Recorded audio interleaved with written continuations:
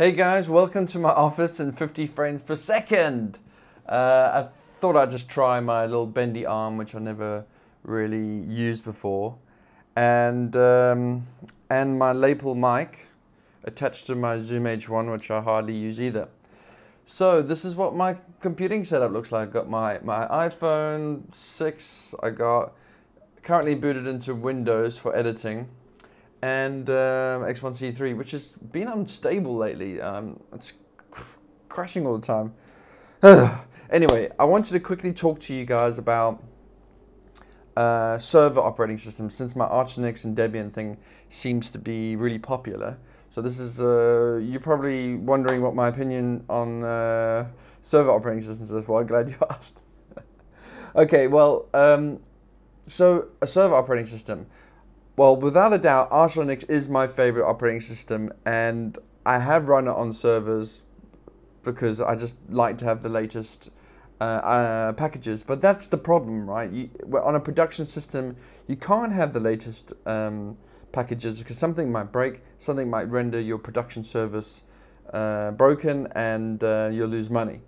So ideally, you want a system that has more stable packages. And uh, in my opinion, it should be the upstream developer or, you know, Apache for a web server. They should decide what their stable thing is. Um, but in practice, um, um, distributions like Debian, they have this sort of like this, you know, if, if the package seems to be working, it then drops into testing. And if that seems to be working, then it drops into to stable. And then you get these horribly outdated packages, which is just kind of horrible. Um, Ubuntu kind of fixes this, but um, I think system um, Ubuntu has made a terrible job of systemd, which I which I demand in 2016 because it makes like system administration much easier. My glasses are oh no, my glasses are breaking right in front of me as I record this. My my son broke my, my glasses by the way. He bullied me. Um, so yeah, Ubuntu's no good. Uh, one might say Fedora, but I think Fedora is too targeted to desktop, and um, and then again, Red Hat Enterprise Linux I think has is a sort of a later sort of fork of Fedora. But when I last looked at um, CentOS, which is a one-to-one -one sort of rebuild of Red Hat uh, Enterprise Linux, I thought it was too old. So I'm not using that. I'm not using CentOS. I'm not using Red Hat uh, Enterprise Linux. Sorry.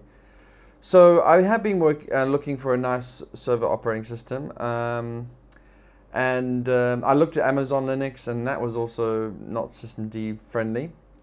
Um, so, so now I'm getting into Docker images and all that sort of stuff. I've been I've been using CentOS. Sorry, CoreOS. A very similar one as Rancher OS. And uh, since I'm using the Amazon infrastructure, I've I've also discovered the ECS Optimize. Uh, I think it stands for Elastic Container System from Amazon. Um, so I'm using ECS Optimize images uh, now at work.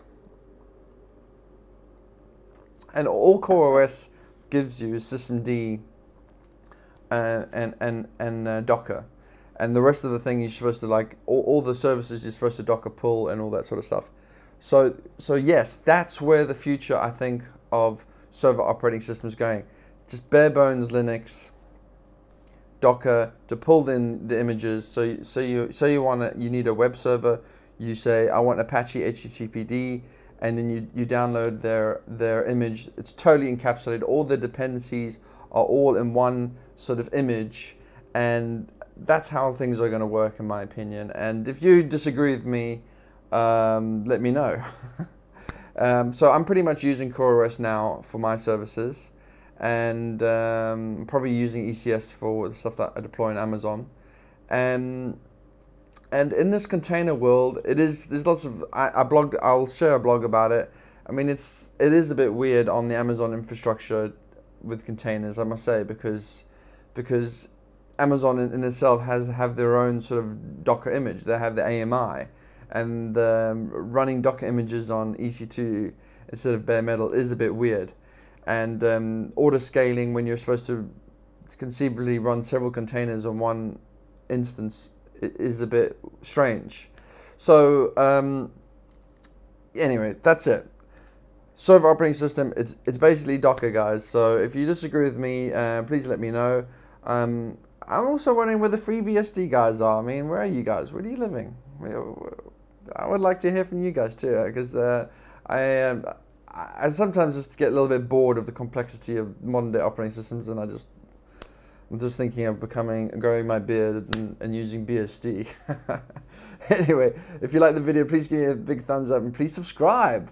Cheers, guys. Cheers.